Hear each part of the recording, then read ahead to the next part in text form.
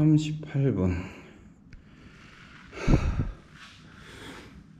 현수막 커튼을 제작을 해서 삥 둘레를 돌려야 되겠네요 하나 둘 셋 넷 다섯 개.